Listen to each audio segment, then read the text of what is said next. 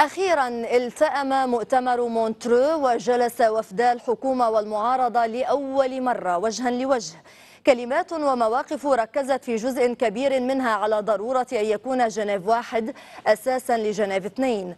لكن ما قاله الأمين العام للأمم المتحدة في ختام المؤتمر أن مستقبل الرئيس السوري بشار الأسد يقرره الشعب السوري قد يحمل مروحة واسعة من التساؤلات وخصوصا حول ما اتفقت عليه موسكو وواشنطن بعلم باريس وأبلغته مصادر أمريكية للميادين أن أمريكا وصلت إلى قناعة مشتركة. مع روسيا بأنه لا يمكن استبدال الأسد بإسلاميين قد يكون ما قالته المصادر للميادين وما أعلنه بان كيمون هو الصورة التي ستسير عليها المفاوضات تحت سقف التفاهمات بين الكبار انطلاقا من الجمعة المقبل ولمدة أسبوع هل أسقط مؤتمر مونترو شعار إسقاط الأسد عمليا ليبقى إعلاميا فقط؟ وهنا خطف وليد المعلم الأضواء عندما خاطب نظيره جون كيري بالخطوط الحمراء وخصوصا حول الرئيس الأسد. هل يقبل الوفد السوري لقاء مباشرا مع المعارضين الذين شاركوا في المؤتمر من دون باقي أطياف المعارضة؟ ذهبت كل الأطراف المدعوة وغيبت إيران فكانت الحاضرة القوي تأييدا لمشاركتها أو انتقادا لدعمها سوريا. أمريكا ومعها حلفاؤها حملوا شعار السلطة الانتقالية. فيما الوفد السوري ومعه حلفاؤه وعلى رأسهم روسيا شددوا على عنوان مكافحة الإرهاب. أما الدول العربية فقد تباينت وتمايزت في الموقف من النظام والمعارضة. هل هو مؤتمر من أجل سوريا أم لحسابات موازين القوى الدولية الجديدة؟ هذا الملف سيكون محور المسائية الوحيد ولمدة ساعتين. وقف قبل ذلك مع موجز للأنباء من غرفة الأخبار.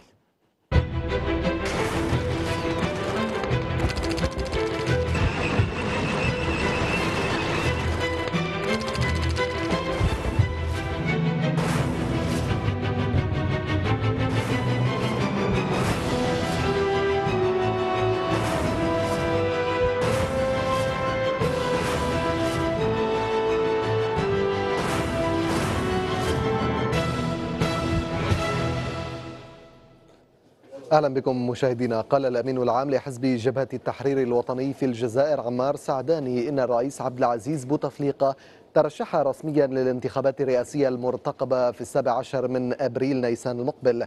وأشار السعداني إلى أن جميع فروع الحزب قد دعت الرئيس إلى الترشح لولاية رابعة. بصفة أمين عام أعلن على أن الرئيس راه مترشح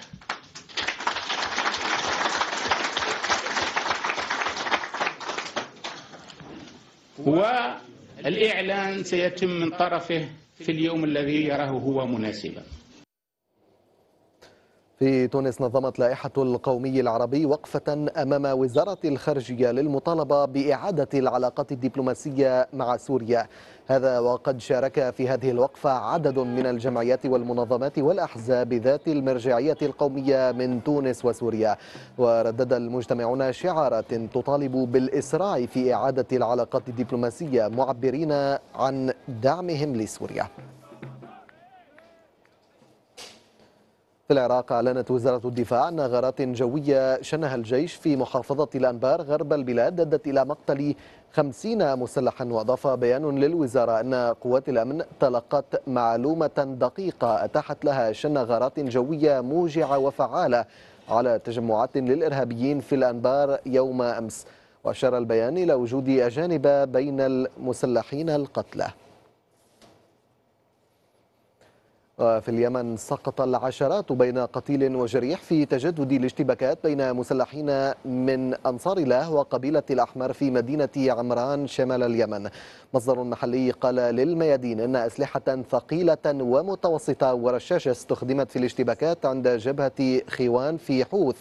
مصدر من جماعة الحوثيين أوضح أن المواجهات وقعت بعد إقدام عناصر وصفهم بالتكفيريين على قطع الطريق واحتجاز المارة في منطقة بني غثيمة فيما يقول مسلحو الأحمر أنهم يصدون هجمات متتالية لمسلحي الحوثيين. في أوكرانيا قتل متظاهران في صفوف المحتجين على سياسة الحكومة أحدهما تعرض لإطلاق نار وسط العاصمة كييف. مصدر في المعارضة الأوكرانية اتهم الشرطة بالتسبب بمقتل محتج برصاص قناص فيما سقط الثاني نتيجة مواجهات تجددت خلال النهار في ساحة الاستقلال. نبدأ مما نقله موفد الميادين إلى مدينة مونترو السويسرية التي تستضيف مؤتمر جنيف 2 عن مصدر ما نقله عن مصدر أمريكي قوله إنه لا يمكن استبدال السلطة التي يقودها الرئيس السوري بشار الأسد بنظام إسلامي. أضافت المصادر أن الاتفاق على هذا الأمر جرى مع الجانبين الروسي والفرنسي. وأشار المصدر الأمريكي إلى التمسك بالحديث عن مصير الرئيس الأسد لافتا إلى أن واشنطن أصبحت أكثر واقعية. المصدر لم ينفي وجود اتصالات أمريكية مع السلطة السورية. وتساءل من قال أن هذه الاتصالات غير موجودة؟ كذلك نقلت بعثة الميادين عن مصادر الوفد السوري الموجود في مونترو رفضها قبول ممرات إنسانية وقالت إن السلطات ستسهل إيصال الإمدادات الغذائية. وأكدت المصادر للميادين أن لا تبادل أو إطلاقا شاملا للسجناء والمعتقلين بل سيكون هناك تبادل عبر ترتيبات محددة. أضافت مصادر الوفد السوري أن التفاهم على أي وقف لإطلاق النار يجب أن يتبعه دخول الشرطة السورية إلى مناطق الاشتباك. ما نقله موفد الميادين عن مصدر أمريكي حول التفاهمات الروسية الأمريكية وإبلاغها لفرنسا. قاله الأمين العام للأمم المتحدة بان كيمون خلال مؤتمر صحفي مشترك مع الأخضر الإبراهيمي أن مستقبل الرئيس السوري بشار الأسد يقرره الشعب السوري لافتا إلى أن العناصر الخارجيين لن يجدوا مكانا لهم في سوريا حين يتوحد الشعب. لا أحد يمكنه تحديد مستقبل الرئيس بشار الأسد سوى الشعب السوري. ولن يجد العناصر الخارجيون مكانا لهم في سوريا حين يقف الشعب السوري متحدا. وزير الخارجية الروسي سيرجي لافروف الذي وصف بمهندس المؤتمر أعرب في رده على أسئلة الميادين عن ثقته بأن المفاوضات المباشرة بين الطرفين السوريين ستنطلق الجمعة وتستمر أسبوعاً. لدينا ثقة بأن المفاوضات المباشرة بين الطرفين السوريين ستنطلق الجمعة وتستمر أسبوعا. هذا ما أكده لنا الطرفان. ولكي لا تنقطع المفاوضات ينبغي ممارسة التأثير في الطرفين مهما حدث. لدينا تأكيدات من الحكومة السورية بأن وفدها جاء إلى هنا بنيات جادة ولن يغلق الباب ويغادر. كذلك التقيت برئيس الائتلاف أحمد الجربة وقال أن المعارضة ستبذل قصارى الجهد للتوصل إلى اتفاق. هنا أود الإشارة إلى وجود تفاهم تام بيننا وبين الأمم المتحدة والولايات المتحدة. كذلك أكد لي جون كيري ضرورة ممارسة الضغط على الطرفين كي لا يغادرا طاولة المفاوضات. لدى شركائنا الأمريكيين والأوروبيين والمعارضة رغبة في تفسير بيان جنيف واحد فقط من زاوية تغيير النظام. لكننا أكدنا للجميع أن المبدأ الذي أرسي في البيان ينص على تحقيق توافق بين الحكومة والمعارضة لمعالجة مشاكل البلاد. ويتضمن البيان أيضا ضرورة انخراط أطياف المجتمع السوري كاملة في الحوار وهذا ما يجب أن نعمل على تحقيقه. وقال لافروف إن بعض الخطوات الإنسانية هي من القضايا الملحة. لتحقيق تقدم ما بغرض إنجاح هذه المفاوضات يجب القيام أولا بخطوات بسيطة في القضايا الإنسانية مثلا كتبادل الأسرى والمحتجزين والرهائن وإيصال المساعدات للمتضررين. لدينا شعور بأن الطرفين السوريين مستعدان للقيام بخطوات عملية لإيصال المساعدات الغذائية لسكان حلب لتخفيف معاناتهم. والآن يدور الحديث عن شيء مشابه في حمص. وأكد لنا اللاعبون الخارجيون المؤثرون في الجماعات المسلحة الناشطة هناك بأن هذه الجماعات ستكون مستعدة للموافقة على تأمين ممرات إنسانية. الوفد السوري أكد لنا لنا بدوره استعداده للتعاون في هذا الشأن. وعن دور إيران أكد لافروف أن غالبية الدول تعتبره مهما وهناك ضرورة لمشاركتها في عملية التفاوض. أما ما يتعلق بدور إيران فقد تحدثت إلى كثيرين بل إلى غالبية المشاركين في المؤتمر حول هذا الأمر ولم أسمع من أحد منهم أن الصيغة الحالية لمشاركة اللاعبين الخارجيين هي الأفضل. جميعهم قالوا في النقاشات المفتوحة أن إيران تؤدي دورا مهما للغاية في الشأن السوري ويجب إيجاد طريقة لإشراكها في المفاوضات. وأعتقد أن المنطق السليم سينتصر في نهاية المطاف وسوف نجد صيغة ما لمشاركة إيران. وفي مؤتمر صحفي بعد المؤتمر شدد وزير الخارجية الأمريكي جون كيري على أن الحل السياسي هو الوحيد القابل للحياة في سوريا لافتا إلى أن المحادثات تتطلب وقتا طويلا ولفت إلى أن عدد الإرهابيين في سوريا غير مقبول وأكبر من قدرة أي دولة على توفير الحماية لمواطنيها. إن الحل السياسي هو الوحيد القابل للحياة في سوريا وما أنجزناه اليوم ليس سوى البداية بالنسبة إلى الحل في البلاد. نتوقع ردما تدريجيا للهوة بين طرفي النزاع ولا نتوقع شيئا مفاجئا. أؤكد أنه لا يمكن أن يكون هناك مكان في سوريا لشخص سمح بقتل شعبه. من الصعب تحقيق السلام في سوريا في ظل بقاء الأسد. أما فيما يتعلق بجنيف 2 فالمفاوضات ستبدأ رسميا يوم الجمعة. ويجب أن أعترف أن المحادثات تتطلب وقتا طويلا. أما الرئيس الأمريكي باراك أوباما فلم يسحب أي احتمال بالنسبة إلى سوريا بما في ذلك الخيار العسكري. جلسة افتتاح مؤتمر جنيف 2 سجلت جدلا دبلوماسيا بين الأمين العام للأمم المتحدة ووزير الخارجية السوري حول مدة كلمة الأخير. الجلسة شهدت أيضا تصادما في المواقف بين المعلم وأحمد الجربة رئيس الائتلاف السوري المعارض.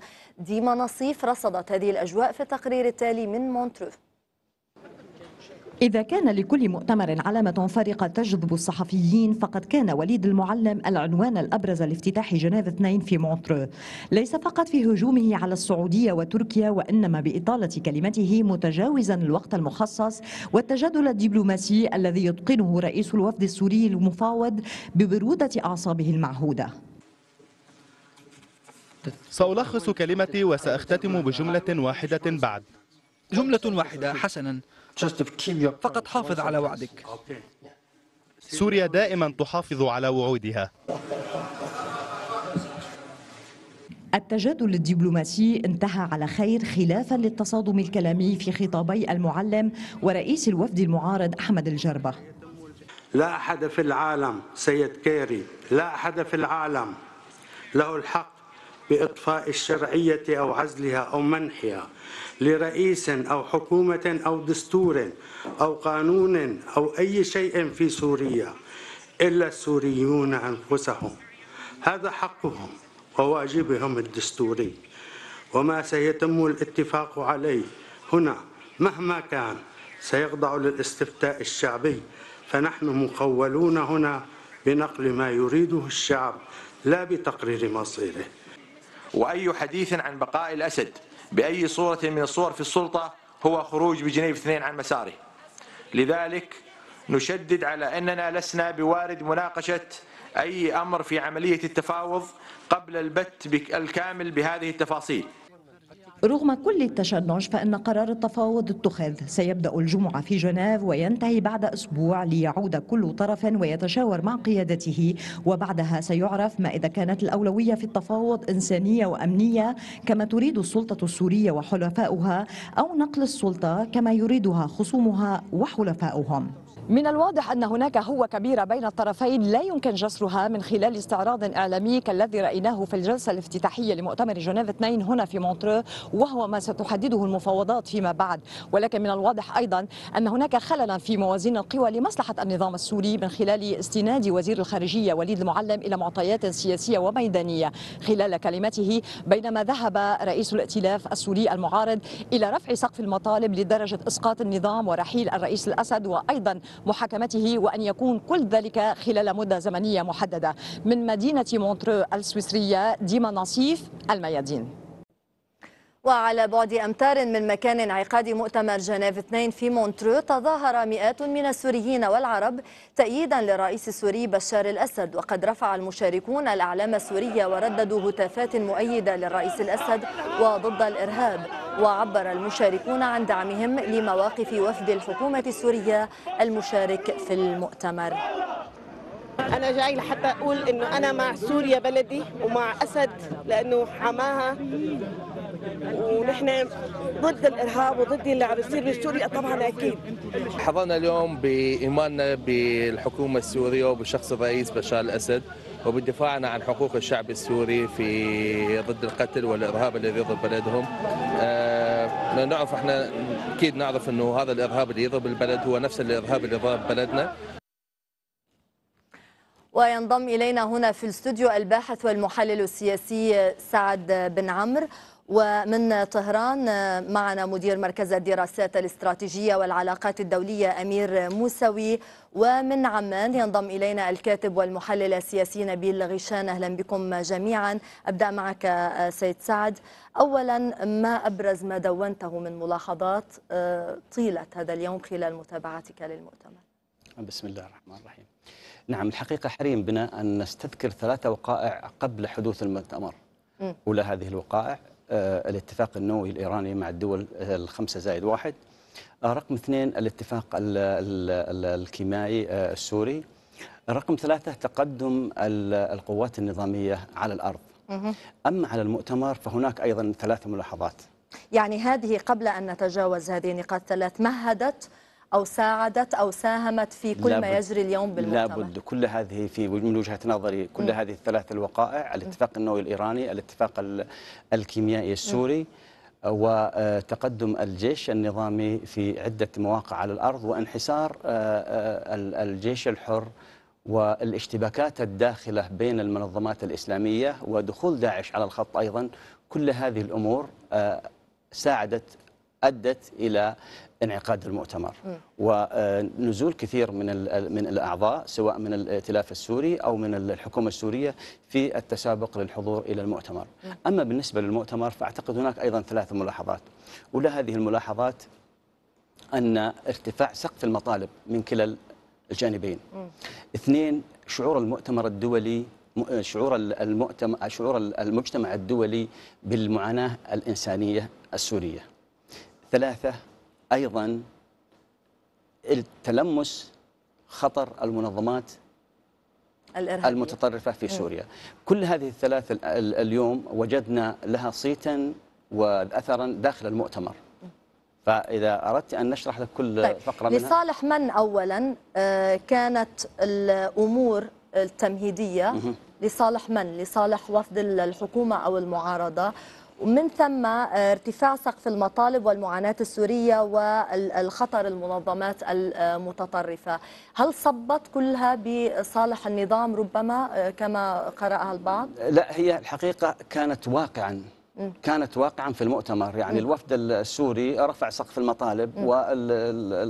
والوفد المعارضة رفع سقف المطالب ولكن غدا أو بعد غد عندما يبدأ المؤتمر الحقيقي والمباحثات المباشرة آه، أكيد آه، سنترك هذه مم. ستترك هذه المطالب على جنب مم. ويبدأ في المناقشة الرئيسية لما حضر المؤتمرين من من شأنه مم. أما المعاناة الإنسانية فهذا شيء واقع ملموس 130 ألف قتيل هذا حسب الإحصاء ال- ال- المتعارف عليه. لكن هناك آلاف الجرحى هناك آلاف المفقودين والأرامل عدا عن ال- النازحين يعني في نعم. أكثر من ثل- ثلاثة ملايين ودمار. البلد هناك هناك شعور عالمي ب- بالمعاناة وهناك إجماع دولي على وجوب إيقاف هذه الحرب.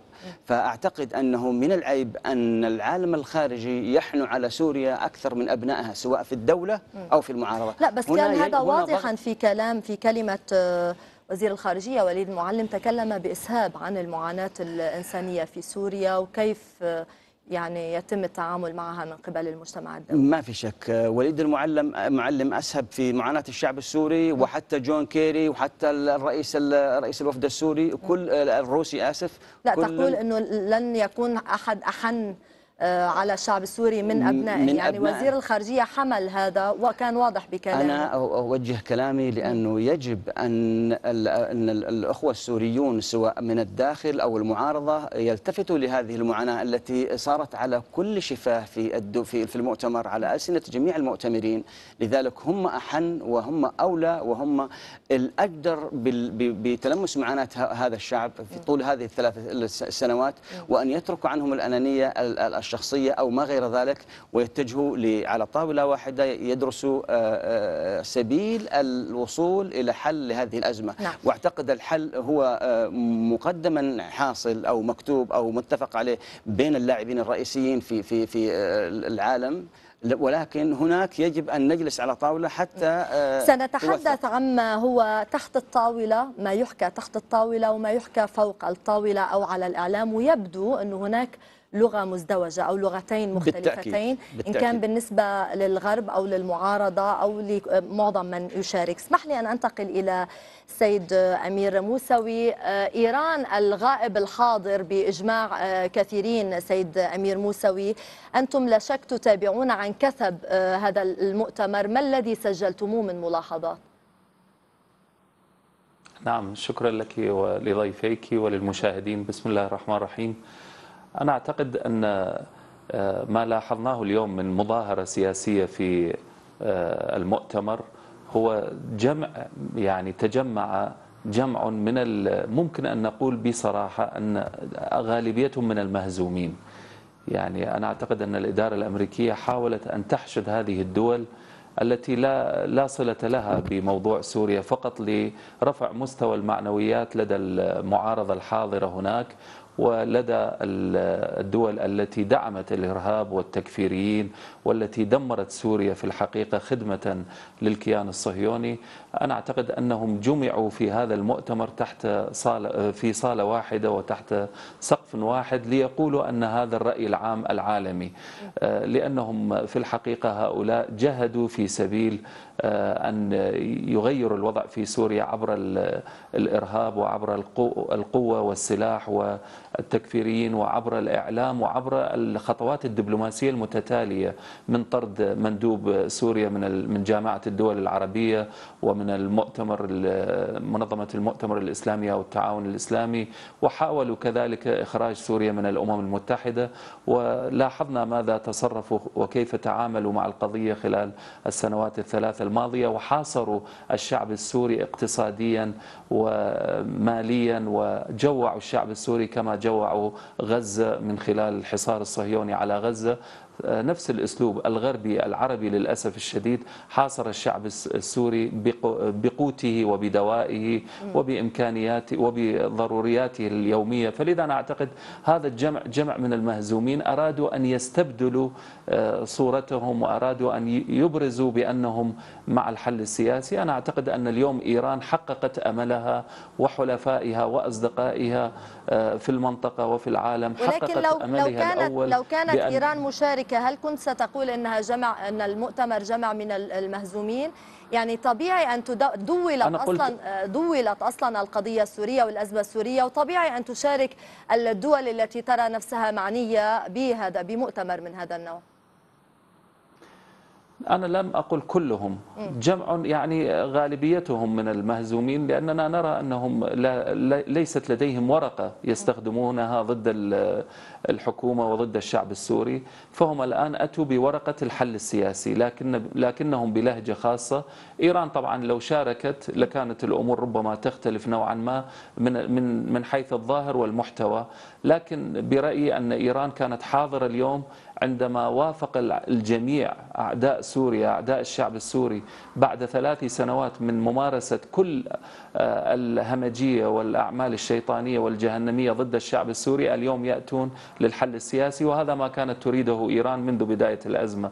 فلذا أنا أعتقد أن إيران تحقق هدفها على الأقل بهذا الاجتماع وبهذا القبول والنزول للحل السياسي في الأزمة. ولكن أنا أعتقد كذلك أن هناك نقطة مهمة برأيي وبرزت اليوم في دافوس. في نقطة مونترو. مهمة نعم، جدا في جنيف. تفضل. ك- ك- نعم لا اجتماع دافوس الاقتصادي نعم آه، نعم برزت نقطة مهمة كما ذكرت لقناتكم الكريمة قبل يومين آه، أن هؤلاء سيأتون آه، متواضعين وسيأتون آه، يعني آه، آه، ينزلون عند إرادة آه، الشعب الإيراني وال- والإرادة الإيرانية الإيجابية للحل السياسي في سوريا. ولكن أليس في هذا بحد ذاته تعالي أو لهجة يعني متعالية نوعا ما عندما نقول أنه هؤلاء بنهاية المطاف سينزلون عند إرادة الإيرانيين؟ ولو أنه أنتم ترون أن دور إيران ولا شك في ذلك لديكم أن دور إيران إيجابي.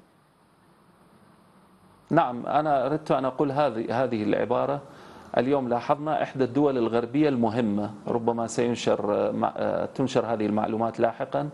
اليوم اتصل أحد المسؤولين المهمين في الدول الغربية اسم الدولة لا أريد أن أذكرها وطلب من الرئيس روحاني اليوم عندما وصل إلى دافوس الرئيس روحاني طلب منه بصورة غير مباشرة عبر وسيط بأن تأتي إيران مرة أخرى وتلعب دورها وتساعد هذا المؤتمر لإنجاحه ولتمشية بعض الأمور ال- والع- والعراقيل التي برزت اليوم آه، في الافتتاحية. دولة فاعلة؟ دولة غربية فاعلة؟ دولة مهمة جدا ومن الدرجة الأولى. طلبت من إيران أن تفعل نشاطها في مؤتمر جنيف وخاصة يوم الجمعة فما بعد. آه، طلبت من ربما إيران. ربما هذا ما كنا بريطانيا أو الولايات المتحدة. أو هكذا نفهم منك. اسمح نعم اسمحي لي اسمحي لي إن شاء الله هذه الأيام القادمة ربما ستبرز هذه ال- القضايا. لذا أنا أعتقد ليس من التعالي. أنا أعتقد أن هؤلاء عندما أبعدوا إيران أرادوا آه، إفشال هذا المؤتمر وأرادوا أن يبرزوا صورة أخرى ل- لصالحهم. أعتقد فشلوا اليوم. طيب اليوم فشلوا وكان الفشل دام أتيت واضحا على ذكر هذه النقطة. هل نتوقع أن تنضم إيران مثلا للمحادثات في مرحلتها المقبلة؟ إذا إذا كان إذا كان مسؤول غربي رفيع من دولة مهمة يقول أو آه، يطلب من إيران من الرئيس الروحاني أن آه، تحضر بلاده المؤتمر، يعني على مستوى خبراء أو على مستوى سياسي أم ماذا؟ أنا أعتقد أن رئيس آه، الأمين العام للأمم المتحدة إذا ما اعتذر. ربما إيران ستعود مرة أخرى وربما ستمارس دورها الإيجابي لمساعدة الفرقاء السوريين لإيجاد حل سياسي. حتى لو لم تدعى إيران ولم تحضر المؤتمر أنا أعتقد بإمكانها أن تساعد الفرقاء السوريين لأن ما يهم إيران هو إنهاء نزيف الدم في سوريا. طيب ابقى معنا. لو سمحت نتحول إلى عمان. معنا من هناك نبيل غيشان الكاتب والمحلل السياسي. بالطبع آه، عمان في قلب الأزمة وهذا ما صرح آه، به أكثر من مسؤول آه، أردني خاصة في الفترة الأخيرة أنه النيران السورية لن تبقى بسوريا بل ستحرق دول الجوار وربما أولها آه، عمان. كيف نظرتم إلى كل المواقف التي أعلنت اليوم في مؤتمر مونترو؟ أعتقد أن ما أن افتتاح المؤتمر اليوم في سويسرا يؤكد على صوابية الموقف الأردني الذي كان يطالب منذ أكثر من سنتين بأن يكون هناك حل سياسي للأزمة حل سياسي يحافظ على وحدة الشعب السوري والأراضي السورية. الجانب الأردني اليوم تحدث بكل وضوح عن الكثير من القضايا بما فيها محاربة الإرهاب وحل قضية اللاجئين وتقديم المساعدات لهم والأردن بطبيعة الحال يحاول أن يسعى إلى تنشيط عملية العملية الدولية في دعم قضية اللاجئين أي تدويل القضية لكن الأردن معني بالحل السياسي على حدوده معني ببقاء الدولة السورية نعم. معني بوحدة الشعب السوري ومعني بأن يخرج هناك حل سياسي بمشاركة جميع الأطراف ودون استثناء. وأعتقد أن هذا الموقف الأردني كان موجودا ومصرح به منذ اندلاع الأزمة. اليوم شهدنا سقف عالي مناورات عالية هناك صراع إيرادات في الحوار بين جميع الأطراف.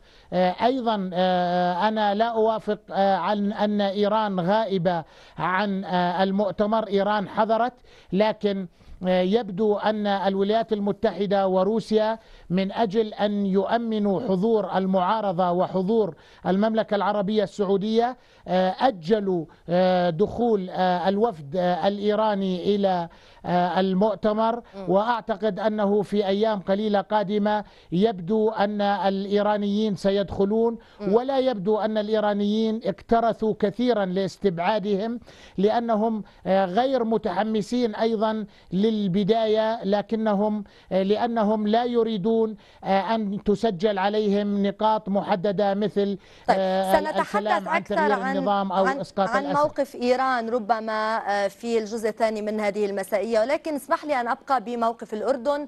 وزير الخارجية الأردني كان واضحا اليوم عندما آه، قال آه، أنه لا حل للأزمة السورية إلا الحل السياسي. ولكن في مرحلة من المراحل نظر للدور الأردني بسلبية ما من خلال ربما نشر صواريخ باتريوت من خلال إبقاء طائرات أف 16 بالأردن من خلال دخول الاتهامات للأردن اللي نفاها الأردن أكثر من مرة دخول المسلحين ودعم ما يسمون أنفسهم بالثوار. الآن هل يبدو هناك إعادة نظر إعادة حسابات في كل الموقف الأردني برأيك؟ آه، الموقف الأردني آه، كما قلت لك أن الموقف الأردني آه، اليوم أثبتت مصداقيته. لكن ما ما ما جرى في الأشهر الماضية حول آه، نشر صواريخ الباتريوت أو حول وجود آه، طائرات الإف 16 في الأراضي الأردنية. هذه قضايا دفاعية وأعلنت الدولة الأردنية أنها لا تعني أحد غير الأردن. وأيضا الأردن حافظ على حدوده آه، قدر الإمكان لكن هناك عمليات تسريب تتم. وبالمناسبة أن أغلب آه، المقاتلين في سوريا الذين يأتون من الأردن هم يذهبون عن طريق تركيا من خلال شراء آه، بطاقات آه، آه، السياحية إلى أنطاليا و- ومرمريس وهذه المناطق وعند وصولهم إلى سوريا يتجهون إلى آه، إلى الجماعات التي تؤمن دخولهم. لذلك ال- الحكومة الأردنية لا أعتقد أنها تستطيع أن تمنع أي مواطن اردني من مغادرة سوريا إذا كان حجزه لمدة ثلاث أيام أو أسبوع في أحد المصايف أو أحد المناطق السياحية ال- نعم. آه، آه، التركية مم. أعتقد أن الموقف الأردني ثابت وأن الأردن معني الآن بكل تفاصيل ما يجري بسوريا والأردن لا يمكن أن يقبل بدخول المسلحين على من من من أراضي يعني إلى إذا تم الضغط عليه بشكل أو العديد بآخر من إن المسل... تم الضغط على الأردن بشكل أو بآخر وربما مورست بالفعل عليه بعض الضغوطات بالمرحلة السابقة أم، ه- هل يستطيع أم، مجابهة هذه الضغوط؟ يا يا سيدتي الأردن مورست عليه ضغوط كثيرة نعم. وما زالت تمارس عليه ضغوط كثيرة لكن الأردن يعي مصلحته جيدا. الأردن يعرف أن سوريا بالنسبة له هي خاصرة وأن اللعب في سوريا ليس سهلا. لذلك ما زال الموقف الأردني هو الموقف المشرف بين أغلبية الدول العربية. الأردن ما زال يتحدث عن الحل السياسي وقد تحدث عن الحل السياسي منذ ثلاث سنوات. وهو يرفض التدخل في شؤون الآخرين لكن لابد أن نعترف أن الأردن أيضا هو بلد صغير وإمكانياته ليست ب- كبيرة وهناك ضغوط مورست عليه لكن ما زال الموقف الأردني مشرفا حتى هذه اللحظة. وقف عندما قالته المستشارة الإعلامية للرئيس السوري المستشارة الإعلامية والسياسية بثينة شعبان في حديث للميادين أنهم يذهبون إلى مؤتمر جنيف للقاء من يدعون أنهم يمثلون جزءا من المعارضة. ورأت شعبان أن هناك نقاطا في بيان جنيف واحد لا تزال صالحة إلا أن الأولوية لديهم هي توفير الأمن للشعب السوري ومكافحة الإرهاب والقضاء على الفكر الوهابي. وتمويل الإرهابيين وتسليحهم. نحن سنذهب إلى جنيف وسنلتقي من خلال الأمم المتحدة مع الذين يدعون أنهم يمثلون جزءا من المعارضة. والهم الأساسي في ذهننا هو هم الشعب السوري. هو مكافحة الإرهاب هو القضاء على هذا التمويل والتسليح والمرتزقة الذين ينغصون حياة سوريا ويدمرون مؤسساتها. ولن تدخر الحكومة السورية جهدا من أجل وضع حد لهذه المعاناة للشعب السوري. طيب هل برأيك دكتورة تزال أو لا يزال بيان جنيف واحد آه، مناسبا أو آه، صالحا ل- كإطار للتفاوض أم هناك البحث عن إطار آخر ربما أو تفاهم آخر؟ هلا هناك نقاط في جنيف واحد ما زالت صالحة مثل وقف العنف من قبل جميع الأطراف نزع سلاح ال- المسلحين. آه، هناك نقاط لا تزال صالحة ولكن ما وصل إليه الواقع اليوم يتطلب آه، تغيير الأولويات. الأولوية اليوم في سوريا إذا سألت أي إنسان من الشعب السوري يقول لك الأولوية هي عودة الأمن والأمان الأولوية هي وقف هذا الإرهاب. ولن يتوقف هذا الإرهاب ما لم تتعهد الدول التي تدعم وتمول وتسلح وتمرر هؤلاء الإرهابيين بوقف هذا، هذا كله يعتمد على الإرادة الدولية وعلى تشابكات العلاقات بين هذه الأطراف وبين آه، وبين أسيادهم، وكما تعرفين ما من يحضر اليوم في جنيف لا يملكون لا الإرادة ال- آه، يعني لتسيير الأمور، هم آه، طب هذه الأولويات في مكافحة الإرهاب هل تتفق مع إيرادات دولية أخرى؟ هل لديكم يعني ربما ضمانات أو تفاهمات مسبقة بأنها ستكون عنوان أول في جنيف اثنين. نحن بالنسبة لنا الطرف الروسي وإيران والجزائر والأطراف التي تريد الخير لسوريا آه، تشاركنا هذه القناعة. الأطراف التي لا تريد الخير لسوريا منذ البداية ربما لا تشارك هذه القناعة ولكن نأمل أن يقود هذا المسار إلى اقتناع الجميع بأن الفكر الوهابي خطير على سوريا وعلى المنطقة وعلى العالم وأنه من مصلحة العالم برمته أن يقف مع سوريا. ضد هذا الفكر وأن يترك الأمر للسوريين ليقرروا مستقبل بلادهم. هناك هو صحيقة واضحة بين يعني في خطاب الطرفين يعني خطاب السيد وليد المعلم وأيضا أحمد الجربة رئيس الائتلاف المعارض.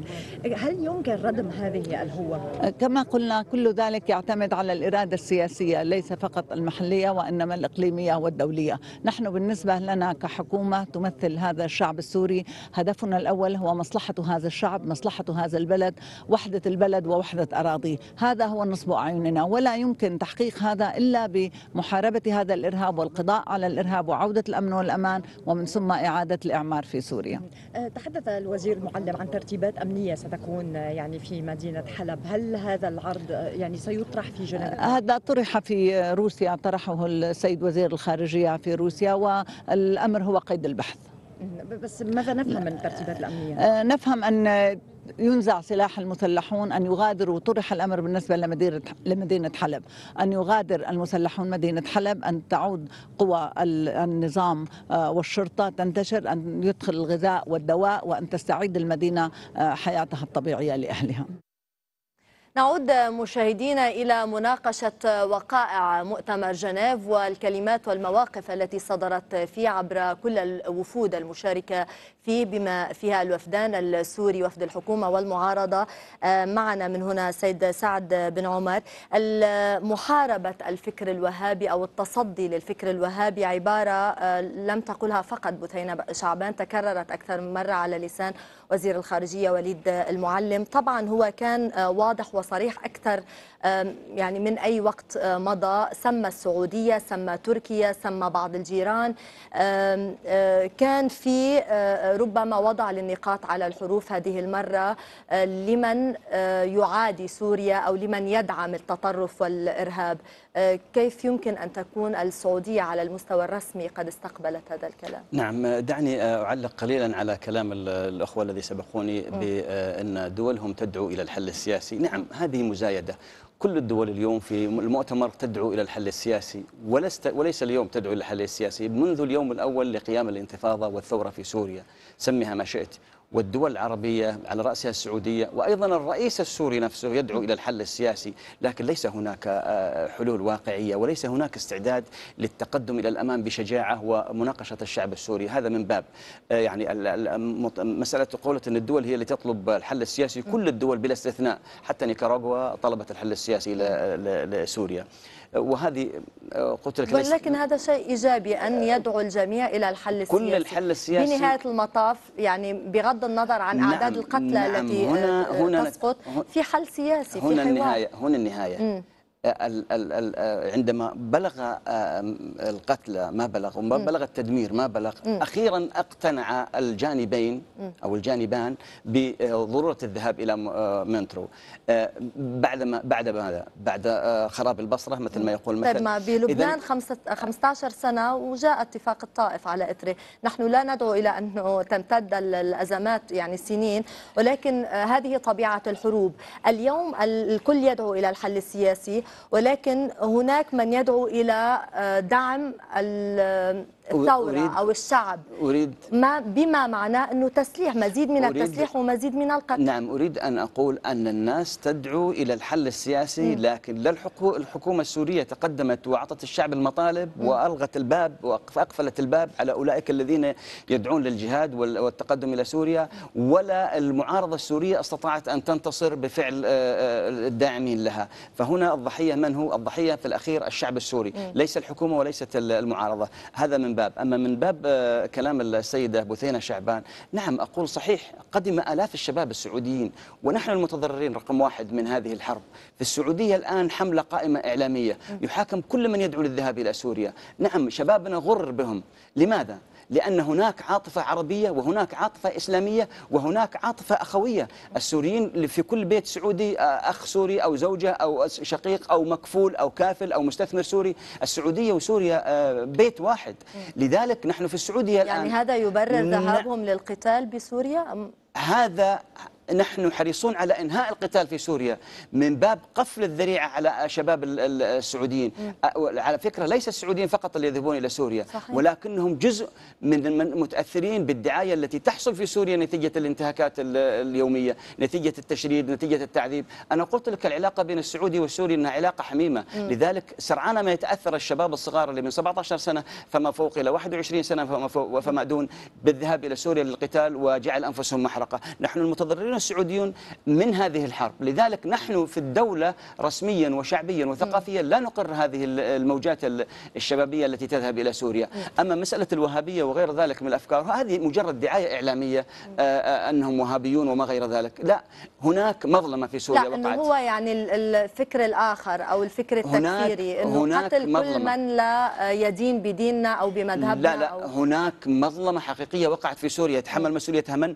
من سمح لهؤلاء الناس السوريون بالتقدم لماذا لم تعطى المطال لماذا لم ينزع الفتيل من بداية الأزمة السورية؟ نحن كنا نتوقع أن الرئيس بشار الأسد شاب وفي سن مبكرة لابد أن يتلمس طاقات الشباب الربيع العربي أتى حين آه، آه، بغت على الدول. لذلك لم يباغت سوريا أولا باغت تونس ثم مصر. كان لدى الرئيس الأسد الفرصة الكافية. نحن الآن لا نعاتب لكن نذكر حقائق. طيب نذكر حقائق. والسوريون أكثر من مرة يعني آلاف المرات سألوا السؤال واليوم وليد المعلم أعاد السؤال نفسه بأي حق تأتي دول من دون انتخابات من دون ديمقراطية من دون حرية من دون برلمانات فيها ديكتاتوريات فيها ممالك ربما من دون دساتير؟ وتطلب الحرية والديمقراطية للشعب السوري. ما يعني هذه علامة استفهام كبيرة منذ بداية الأزمة السورية ولغاية الآن. جميل, ما زال- جميل. ما وماذا. تقولين ل 500 بريطاني جاء من بريطانيا من قمة الديمقراطية والتقدم الغربي؟ 500 بريطانيا الآن في سوريا. ماذا تقولين؟ أعود وأكرر كلامي في المرة السابقة. أن الشعوب العربية والإسلامية تعاطفت مع الشعب السوري لمظلوميته. لذلك يجب الحكومة السورية أنها تكون أحن على شعبها منا. نحن اللي خارج حدود سوريا. ما- ماذا تقولين للبلجيكيين الذي في سوريا؟ طب عظيم. إذا كل شعب يتعاطف مع شعب وي- ويرسل أولاده أو شبابه أو مراهقيه للقتال يعني صارت لا، هذه شعوب. صرنا ب- ب- هذه- ب- بالغاب بقانون هذه- الغاب. هذه شعوب. طب هل تصدق سيد سعد إنه يعني أنا آه، تابعت تقرير على قناة غربية شاب بريطاني. آه، يأتي إلى سوريا ليقول نحن جئنا لنحارب الولايات المتحدة وبريطانيا، طيب ما دخل الولايات المتحدة وبريطانيا أنا بسوريا؟ أقول لك أنا أقول لك ما دخل الولايات المتحدة مم. بالدرجة الأولى تقع يقع عاتق المسؤولية على على الدولة السورية في أمرين مم. الأمر الأول هو نزع فتيل الأزمة إعطاء الشعب مطالبهم. الرقم الثاني هو حماية حدود البلد. متى ما متى انكسر حاجز حاجز أحد الحواجز هذه آه، الرئيس وزير الإعلام ال- السوري ذهب لجنيف يقول آه، خلصونا من الإرهابيين. من يخلص من الإرهابيين؟ الذي يخلص من الإرهابيين هم أنت. يا وزير الإعلام ودولتك باتباع الطرق السلمية مع شعبك. اولا طيب. الجربة وغير الجربة هؤلاء بالنهاية مواطنين مواطنون سوريون. يجب أن تستمع إليهم مهما كان. أنت لا تستطيع أن تهمش الباقون. هو هو هو قال إنه عودوا نحن أتينا لنقول لكم عودوا. ليكن الحوار سوري سوري. قبل أن أذهب إلى آه، عمان آه، تعليقا على ما ذكرت سيد سعد كيري قال بالحرف عدد الإرهابيين الموجودين في سوريا غير مقبول وأكبر من قدرة أي دولة على توفير الحماية والأمان لمواطنيها. يعني كيري يقول إنه الدولة السورية بأمها وأبيها لم ت- يعني غير قادرة على تأمين المواطنين بسبب عدد الإرهابيين الموجودين بعد متى؟ آه، بعد سجل متى؟ سجل هذه إذا بعد متى؟ إذا اذا, بعد إذا متى؟ أحببت أن تعلق عليها ولكن اسمح لي أن أذهب إلى الأردن سيد آه، غيشان الأردن برز كلام هي مصادر في الواقع للميادين يقول آه، نقلا عن مصدر أمريكي لا يمكن استبدال الأسد بنظام إسلامي لذلك نحاول إيجاد آه، مخارج ما صدر عن كيري آه، مناقض لهذا أنه لا يمكن أن تكون هناك مرحلة مستقبلية في سوريا بوجود الأسد وكأن هناك آه، لغتين متناقضتين. آم، يعني اعلاميا يقال شيء بالنسبة للولايات المتحدة وتحت الطاولة آه، للروس أو للسوريين يقال شيء آخر. هل توافق ذلك؟ أعتقد أن ال- الحوار بشكل عام في أمام ال- الكاميرات يختلف عن الحوار آه، في الغرف المغلقة وهذا ما ستكشفه الأيام القادمة. ولا أعتقد أن الجلسة الافتتاحية آه، تكون سوى آه، قضايا بروتوكولية وكل واحد يحاول أن يفرض إرادته وأن يعلي من السقف. لكن في النهاية لابد أن آه، يكون حوار على النقاط. أما آه، بالنسبة لموضوع آه، ال- الولايات المتحدة ونظرتها إلى مستقبل سوريا وأنها لا تقبل بأن تكون سوريا تحت حكم الإسلاميين أعتقد أن هذا ما غير منذ أكثر من عام من نظرة الولايات المتحدة آه، تجاه آه، سوريا واندفاعها لإسقاط نظام الأسد. فبعد أن آه، برزت التنظيمات آه، المتطرفة التنظيمات الإسلامية المتطرفة على الساحة مثل النصرة وغيرها آه، وداعش أعتقد أن الولايات المتحدة تمهلت كثيرا في آه، آه، اندفاعها نحو إسقاط الأسد. لكن بعض الدول الإقليمية في المنطقة بقيت على هذا الاندفاع.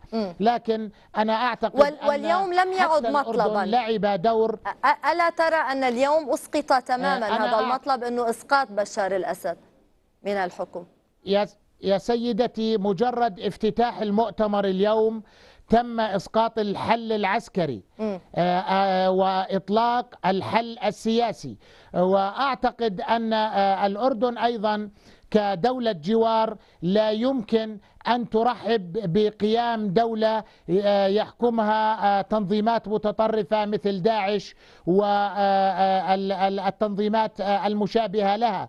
لذلك آه، بقاء الأسد آه، ونظام الأسد بشكل عام دون أن نحدد الشخص آه، هو أصبح مطلب للكثير من الدول الإقليمية وعلى والعالمية وعلى رأسها الولايات المتحدة التي غيرت من استراتيجيتها بعد أن أظهر التقدم الكبير لهذه التنظيمات. أما الآن بعد أن تراجع دور هذه التنظيمات المتطرفة في سوريا وبينما آه، بعد أن حقق النظام آه، حضور أكثر على الأرض أعتقد أن ال- أن العملية باتت مقنعة أكثر للحوار وللحوار السوري السوري وأن الولايات المتحدة الآن باتت مقتنعة أنه لا بد من حل سياسي آه، يقطع الطريق على التنظيمات آه، ال- آه، الإسلامية المتطرفة من الوصول إلى السلطة وأعتقد أن الطريق قطع الآن تماما. نعم.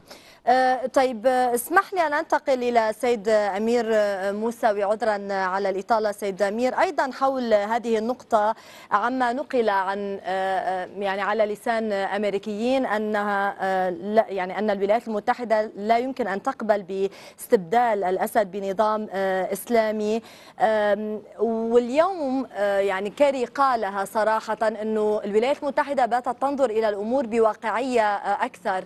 هل برأيك آم، يعني انخفض آه، سقف ال- السقف الأمريكي بشكل عام ومعها مع الولايات المتحدة حلفائها من كل ما سينتج عن العملية السياسية في سوريا؟ هو في الحقيقة تخبط أمريكي في هذا الموضوع لأنه هذا الكلام استبدادي وديكتاتوري. يعني نرى تهميش دور الشعب السوري بصورة غير طبيعية لدى اللهجة الأمريكية وحلفاء الولايات المتحدة الأمريكية وكذلك بعض أقطاب المعارضة في الخارج. يعني عندما يقولون لا بد أن يرحل الرئيس بشار الأسد ويقولون لا يسمح للإسلاميين أن يحكموا في سوريا أو يكونوا بدائل لنظام الرئيس بشار الأسد. هذا كلام استبدادي. أين الشعب السوري؟ أين خيارات الشعب السوري؟ أين صناديق الاقتراع؟ الشعب السوري هو الذي يحدد نظامه السياسي إذا أراد إسلامي إذا أراد ليبرالي إذا أراد علماني إذا أراد أي شيء يقولون هذا يقولون لك السوري. اي أي استفتاء أو أي انتخابات يعني من السهولة أن تزور من جانب النظام أو الحكومة السورية يعني هذا الرد الجاهز لا دائما بالعكس يعني آه، لا الحكومة الحكومة السورية أكدت أن أي انتخابات أي استفتاء سيكون بإشراف كامل من قبل المؤسسات الدولية. وفي كل المدن والقرى السورية هذا ما أكده الرئيس بشار الأسد في لقائه الأخير عندما التقيناه الأسبوع الماضي. يعني هناك تأكيد واضح من قبل القيادة السورية أنه إذا ذهبت الأمور نحو آه، آه، الديمقراطية في سوريا الحكومة السورية ستتعاون بالكامل مع المؤسسات الدولية وأثبتت جدارتها وصدقيتها في موضوع الكيميائي. كيف تعاونت مع ال- الأمم المتحدة والمؤسسات الدولية حول الموضوع الكيميائي. فلذا أنا أعتقد أنها صادقة في هذا الأمر وهناك تأكيدات واضحة. والدول الغربية بالتحديد الولايات المتحدة الأمريكية تعرف ذلك. لكنهم يتجاهلون هذا الأمر ويحاولون إغواء الرأي العام العالمي بأنهم يفهمون بعض القضايا فلذا أنا أعتقد أي تحديد لأي وضع في, في سوريا هو تدخل سافر ومرفوض من قبل الشعب السوري. الشعب السوري لا بد أن يرى الأرضية المناسبة. الجميع لا بد أن يساعد الشعب السوري بأن يقرر. أولا نظامه السياسي وثانيا قيادته السياسية. م. النظام السياسي ممكن أن يكون إسلامي يمكن أن يكون غير إسلامي. هذا يحدده الشعب السوري. وهذا- لا يمكن للسيد كيري أن يت... وهذا هذا عفوا هذا ما قاله وربما شكل نقطة تستحق الوقوف عندها. بان كي مون عندما قال بالمؤتمر الصحفي مساء مستقبل الأسد يحدده الشعب السوري. آم، هذه لهجة نوعا ما مختلفة. أذهب بها إلى الأردن قبل أن يغادرنا ضيفنا من هناك سيد نبيل غيشان بعد دقائق. آه، كان لافتا بالفعل ما قاله بان كي مون أن مستقبل الأسد يحدده الشعب السوري في تمايز أو اختلاف عما قيل من قبل من آه، قبل آه، بان كي مون نفسه. نعم آه هذه قضية آه آه معروفة تماما أن النظام السياسي هو الذي يقبل به شعبه والنظام السياسي هو الذي يحدد الشعب عبر صناديق الاقتراع. لكن أيضا أنا أود أن أعلق على زميلي من طهران عندما آه، تحدث عن الولايات المتحدة ومقولة كير- كيري بأن أنه لن يقبلوا بحكم آه، الإسلاميين في سوريا. آه، أنا أتفق معه أن ال- الحكم يجب أن يقرر شعبه لكن أيضا الحكم له مواصفات. اليوم أي نظام حكم بالعالم يقوم يجب أن يكون هناك مواصفات ديمقراطية ومدنية ومحافظة على حقوق الإنسان واحترام الإنسان واحترام ال- ال- المعاهدات والمواثيق الدولية لكن لا يمكن أن تقبل الولايات المتحدة أو حتى دول الجوار أن يكون هناك نظام إن كان إسلامي وغير إسلامي في سوريا لا يحترم شعبه وحكم يقطع الرؤوس أو يأكل الأكباد. هذه آه، أنظمة لا أعتقد أنها باتت مقبولة ولا يمكن أن يقبل بها أحد لا شعب سوري ولا أمريكي ولا أردني ولا تركي ولا إيراني. نعم. أنا أعتقد أن هناك مواصفات دولية يجب المحافظة عليها في أي نظام يحترم شعبه نعم. وهذه ال- المواصفات والمعايير باتت معروفة دوليا للقاصي والداني. أشكرك جزيلا سيد نبيل غيشان الكاتب والمحلل السياسي. حدثنا من عمان ستغادرنا الآن ويبقى معنا ضيفي السيد سعد بن عمرو وحضرتك أمير الموسوي من طهران.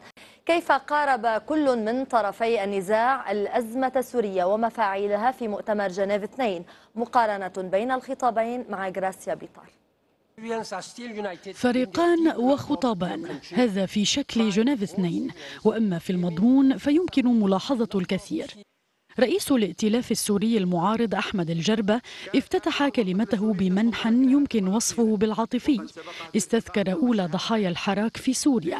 في المقابل بدا وليد المعلم متعمدا التعريف بالتمثيل الصحيح للوفد الذي يرأسه وفد الجمهورية العربية السورية مفصلا المعنى لكل كلمة وامتداداتها. الجرب أتى على ذكر إرهاب الأسد ومرتزقته مرارا. صفة الإرهاب ألحقها تباعا بحلفاء الرئيس السوري حزب الله وإيران. المعلم دخل سريعا في الطابع العالمي الذي باتت تحمل وزره الأزمة السورية. سأل كيف يمكن لإرهابي شيشاني أو أفغاني أو سعودي أو تركي أو فرنسي أو بريطاني أن يحقق تطلعات الشعب السوري؟ وبدولة إسلامية لا تعرف عن الإسلام شيئا إلا ما عرفوه عن الوهابية المنحرفة. اسم بشار الأسد محور كلمة رئيس الائتلاف. سأل الجرب الوفد السوري متى تتحول من وفد بشار الأسد إلى وفد سوري وطني. خلاصة كلامه لم تبتعد عن المحور عينه حيث قال أي حديث عن بقاء الأسد بأي صورة من الصور في السلطة هو خروج بجنيف اثنين من مساره. وأوضح الجربا قائلا المسألة لا تتعلق فقط بتسليم الصلاحيات كاملة إلى حكم سوري جديد وإنما برحيل الأسد من دون إبطاء أو مواربة. المعلم أجابه بطريقة غير مباشرة عبر توجهه إلى جون كيري قائلا لا أحد في العالم له الحق في إضفاء الشرعية أو عزلها أو منحها لرئيس أو حكومة أو دستور أو أي شيء في سوريا إلا السوريون أنفسهم. العالمية في خطاب الجربة تبدت عندما تحدث باسم أحرار العالم.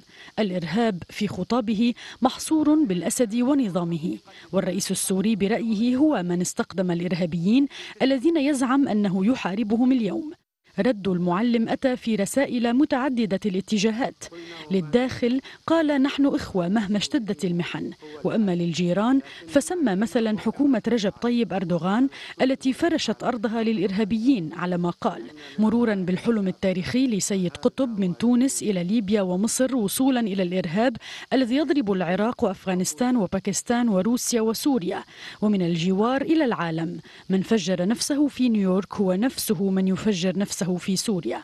وفي رسالة لجميع المشاركين حذر المعلم واشنطن وأصدقائها من الملكيات الاستبدادية على ما سماها ومن خلفهما إسرائيل من أن السيف لن يرحمها. قال لهم ارفعوا أيديكم عن سوريا ولنتعاون جميعا ضد الإرهاب. وإلى بان كي مون قال المعلم من يسكن في نيويورك لا يتحدث عن الشعب السوري. إذا نعود إلى مناقشة وقائع مؤتمر مونترو. انضم إلينا للتو كما ذكرنا السيد معن بشور. بالتأكيد تابعت المؤتمر سيد معن. يعني ما أبرز ما لفتك فيه من كلمات ومواقف؟ وكأنه الكل أكد المؤكد أو تمسك بمواقفه أو هكذا يعني بدا لنا يعني لفتني أن المؤتمر للمرة الأولى يضم أطرافا مختلفة ومعنية بالأزمة السورية. وبالتالي هذا إيجابي بحد ذاته رغم أن الخطاب كان سقفه عال آه، بكل المقاييس. وهذا طبيعي في جولة أولى من المفاوضات آه، بين أطراف عاشت فيما بينها حربا على مدى ثلاث سنوات. أنا هنا أستحضر المثل اللبناني حين انعقد جنيف واحد. في آه، أواخر عام 83 بمطلع عام 84 ثم لوزان.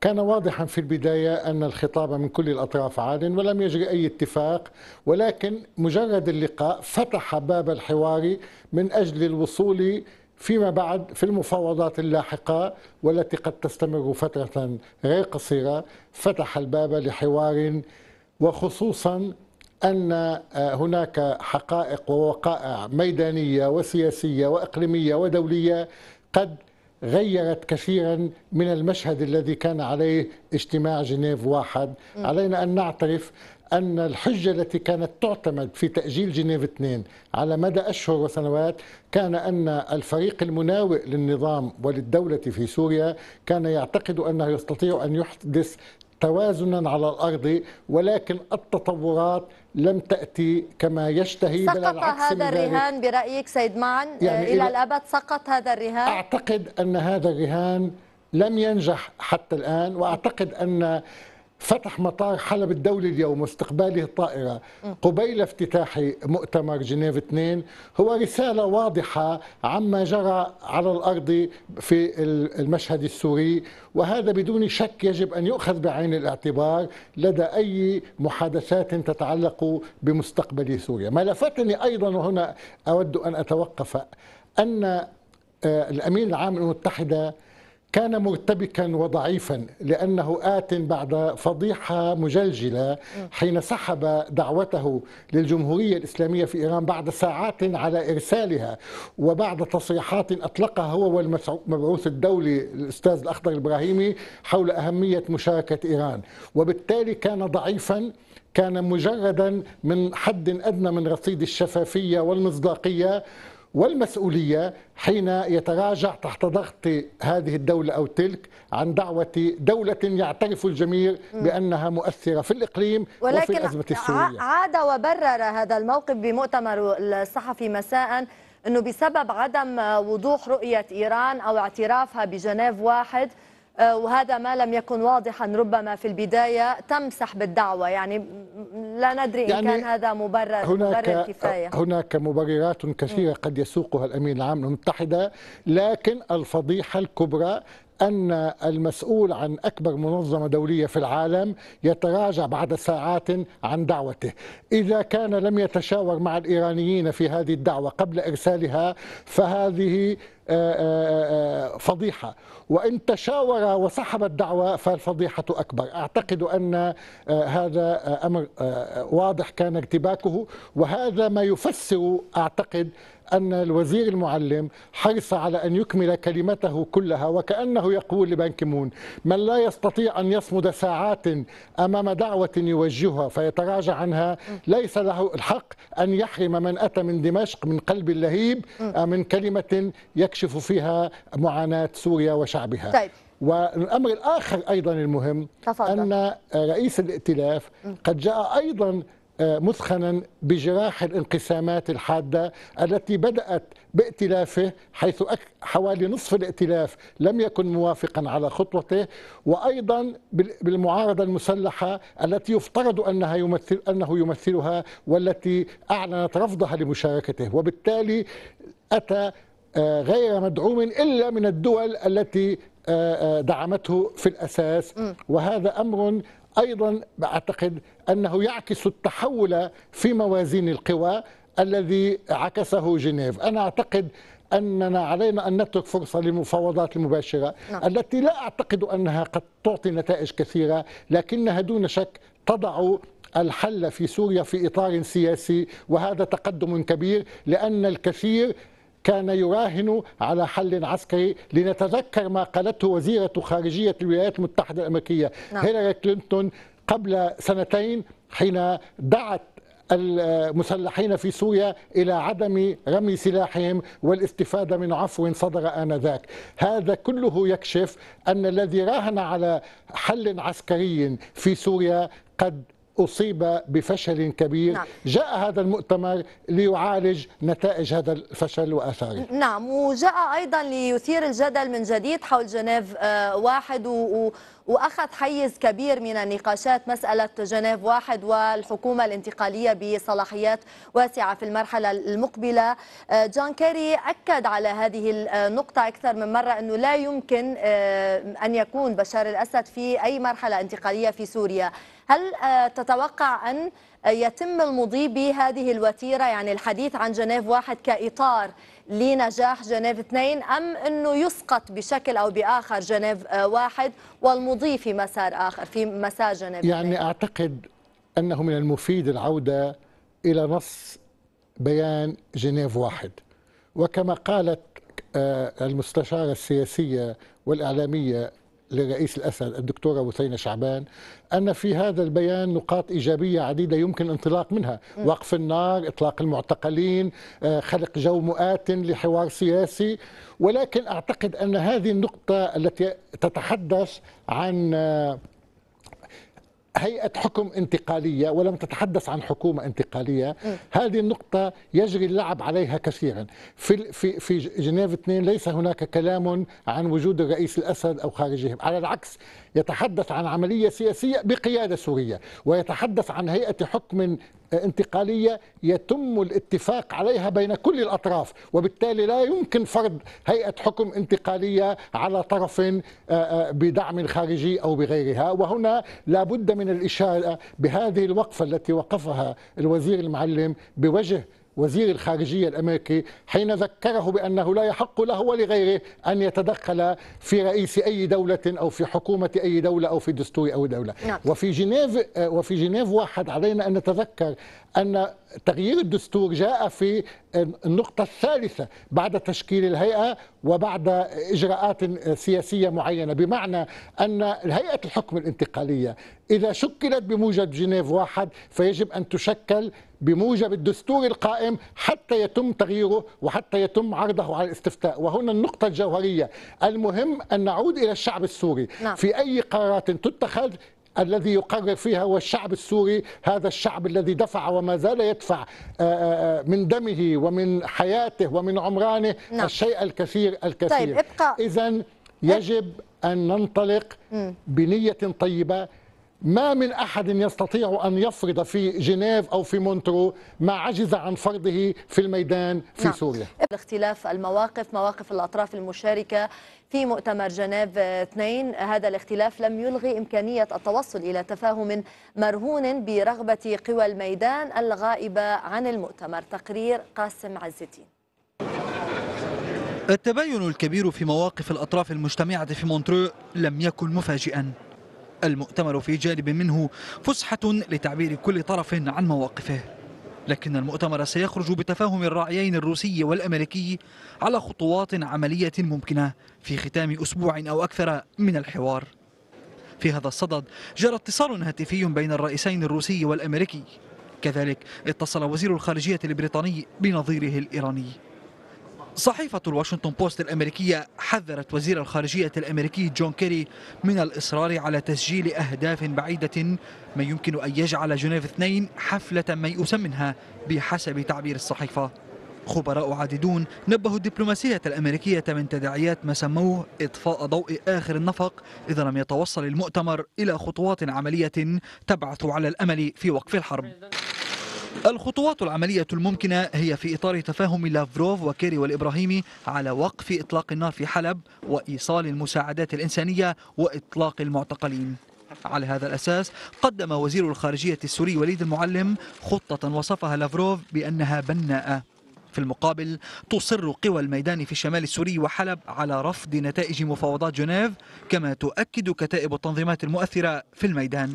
في هذا السياق لم ينجح روبرت فورد بأكثر من ضم موفد يمثل جبهة ثوار سوريا إلى وفد المعارضة بينما رفضت الجبهة الإسلامية وتنظيمات أخرى الانضمام إلى وفد الائتلاف. ما لم يجري التفاهم مع هذه التنظيمات فلن يبقى من مفاوضات الأسبوع الأول غير الاتفاق على مكافحة الإرهاب تقول فورين بوليسي سنتابع النقاش من الناحيتين الميدانية والسياسية ولكن نتوقف عند هذا التقرير.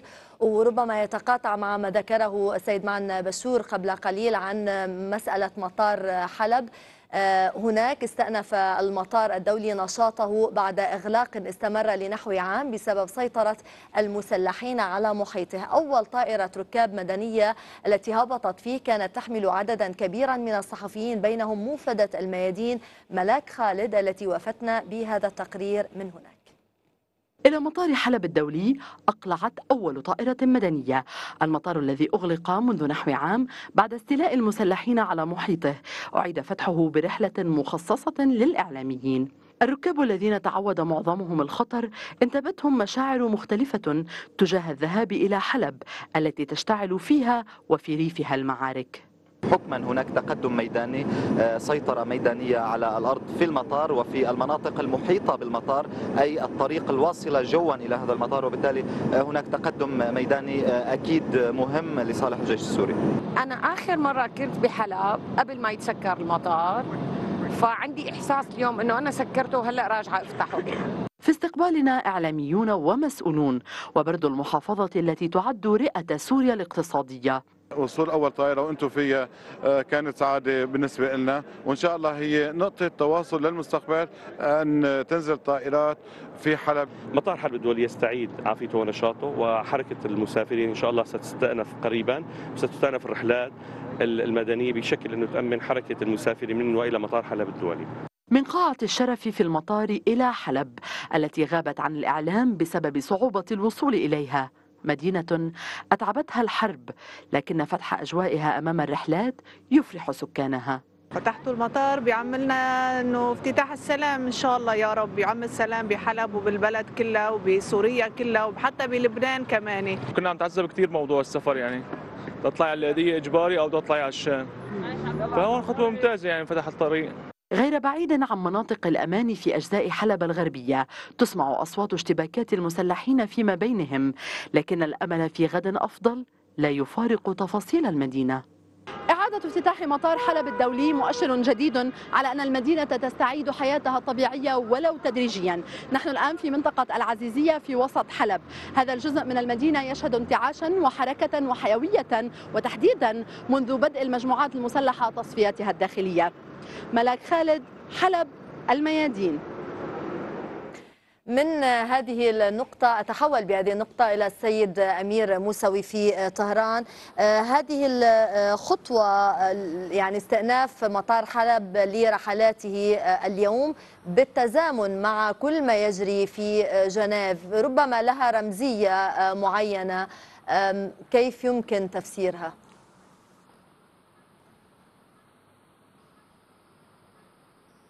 سيد أمير. عفوا. تسمعني الآن؟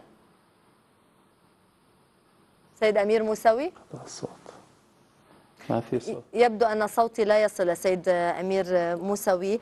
أه ترغب بالإجابة على هذا السؤال سيد سعد؟ لا اللي بعده. طيب اللي بعده. كنا نتحدث عن المعارضة و واضح أن المعارضة ليست ممثلة كما يجب يعني السيد سعود الفيصل فقط هو من اعتبر أن الائتلاف هو الممثل الشرعي للشعب السوري.